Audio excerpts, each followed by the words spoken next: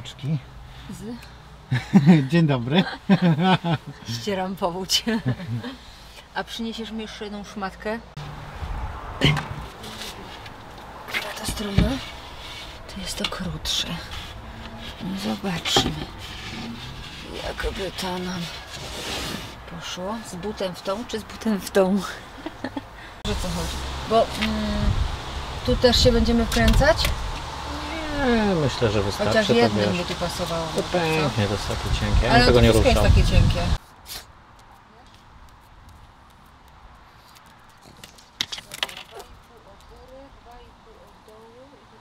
Dzień dobry kochani, witamy w kolejnym odcinku vloga. Witajcie! Hello! Dzisiaj pokażemy Wam, jak zrobić tanio ciepłą wodę w kamperze. Między innymi. No, wcześniej mieliśmy ten nasz cały system oparty o boiler elektryczny 220 V, 1,5 kW mocy. No i w sumie to wszystko działało dobrze, tylko stwierdziliśmy, że mm, szkoda nam zużywać tak gigantycznej ilości prądu. No i też jest taki problem, no taki boiler się nagrzewa jakieś 5 minut, prawda? Także doszliśmy do wniosku, że przechodzimy na ogrzewanie gazowe. No i co tutaj wymyśliliśmy? No, ma to być jak najtaniej po kosztach i sensownie działać. Więc co? No, zdecydowaliśmy się na zakup gazbanku. Tutaj widzicie w, w dawnym miejscu naszego boilera elektrycznego udało mi się e, zamontować gazbank. Jest to wersja 11 kg z zaworem e, duo. Także on tutaj ma zabezpieczenie przy tankowaniu po prostu pistolet odbija, jeśli zbiornik natankuje się do 80%. Gaz oczywiście LPG, e, propan, butan. E, Zamontowałem tutaj u góry reduktor. E, Węże to jest jeszcze w takiej wersji roboczej puszczone. On już jest napełniony, bo robiliśmy pierwsze testy, także wszystko sobie fajnie działa. E, I tak, decyzja była jaki piecek, no kochani. No jest problem, bo nie kupi się takiego piecu małego. Są różne rozwiązania, ale znalazłem taki bardzo fajny piecek e, turystyczny e, firmy Klima. Udało się kupić praktycznie nową sztukę na Elixie, także on jest fajny, bo to jest piec przepływowy, także e, z- i skrownik jest na baterię. E, Kiedy pojawi się ciśnienie tutaj, on się odpala i śmiga. No i teraz tak, e, chcemy sobie e, podwiesić ten piecyk tutaj z tyłu w garażu mm, za szufladami, także musimy sobie dorobić ze sklejki obudowę tylną do tych szuflad i na nim będzie wisiał piecyk. My już go testowaliśmy, on działa super, bo mm, no natychmiast jest ta woda ciepła. E, Bardzo mało też tego ciepła on wydala, ale na pewno tutaj u góry jeszcze sobie zastosuję e, jakoś. Ja myślałem na szybko zrobić jakąś e, osłonę termiczną samoprzylepną, także tutaj do spodu łóżka będziemy sobie to zakładać. No, także no tak się zakończyła nasza przygoda z boilerem elektrycznym. No jednak gaz będzie niezastąpiony. Tego gazu mamy dużo, więc liczymy też na opcję taką, że będziemy dość mocno niezależni. No, zawór na razie tak roboczo tutaj do tankowania podwiesiłem tutaj na trytytkach, ale on będzie na stałe gdzieś zamontowany zgodnie tam ze sztuką. Na razie testowo sobie tutaj wisi. No, także działam dzisiaj e, z, z tym piecykiem. E, zrobimy tył do tych szuflad, skręcimy to wszystko ładnie, będziemy mieli zamknięty e, temat gazu. No i w sumie się bardzo cieszę, bo garaż już też będzie zamknięty. No tutaj wcześniej już sobie przygotowaliśmy też te podpórki pod łóżko. Słuchajcie, e, deski z odzysku, no mamy dużo drewna, także mieliśmy trochę roboty, bo tak przygotowanie, wyszlifowanie tego wszystkiego i ona sobie będzie, będzie ich sztuk, e, nie wiem czy mi się to uda Wam pokazać, cztery chcemy sobie podeprzeć w taki sposób. Ten garaż, jedna będzie tutaj, tutaj druga mm, z przodu i będzie ta konstrukcja wzmocniona, także później sobie to ładnie obudujemy, przymocujemy do podłogi i mamy pięknie temat garażu y, zamknięty. Pozostanie nadal bardzo dużo miejsca, dlatego mówię, nie kupujcie małych kamperów, nie ma sensu. Lepiej mieć duży kamper, przedłużony, podwyższany. Mamy 200 litrów wody, porządny gazbank, elektrykę ogarniętą, jedziesz w dzicz i masz gdzieś. No tutaj udało nam się już zrobić konstrukcję tego e, siedziska. Będzie tutaj specjalna, e, widzicie tutaj będzie i tutaj od razu protip, nie kupujcie sobie boazerii, bo jest bardzo droga.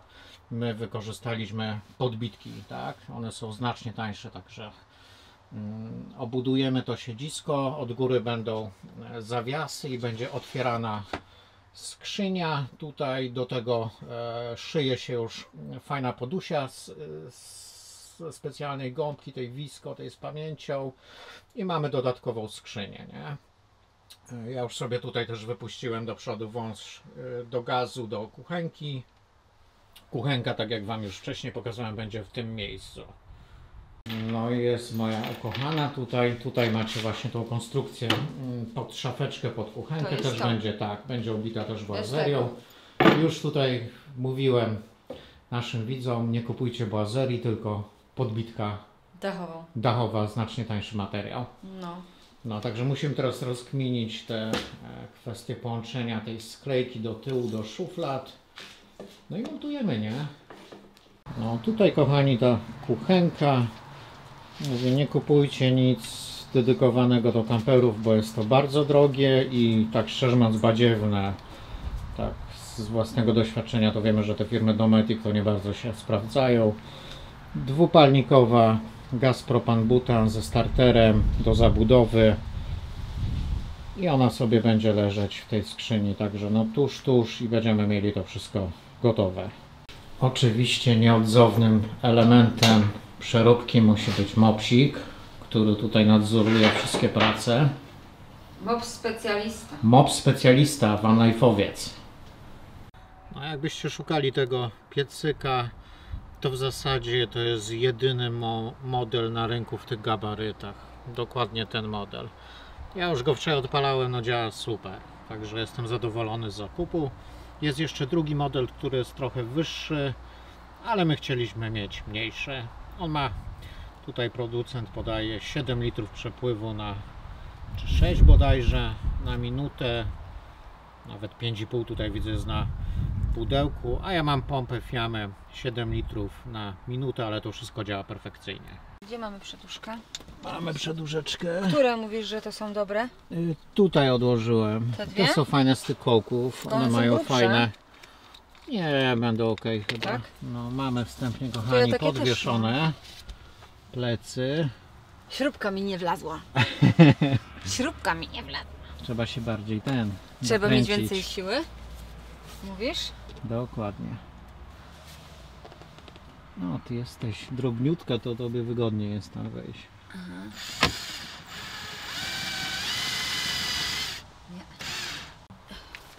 No i co piękność, to wisi już nam ścianeczka No, elegancko. Z moimi nie? odbitymi butami.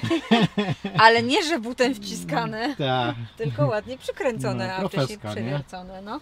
Nie jest źle. No, nawet powiedziałabym, że całkiem bardzo dobrze. No i co? Wisi, wisi, kochani. się kisi. Wisi się kisi. Jest elegancko. dziurki. Co, zrobimy mały odpał testowy. No to co, testowy odpał. Pójdziesz do środka, włączysz pompę Mhm. i kranik na ciepło. Tak jest, panie No, kapitanie. a ja odkręcam gazik, włączam starter i zobaczymy. Pewnie będzie tu ciekło coś tam. Dobra, gazik odkręcony. Powiedz kiedy. No dawaj, zobaczymy.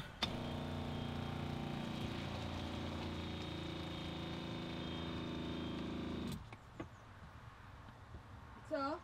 No musisz włączyć wodę normalnie w tym. Włącz wodę. odkręcić. Kran odkręć, no. Nie wiedziałam. O.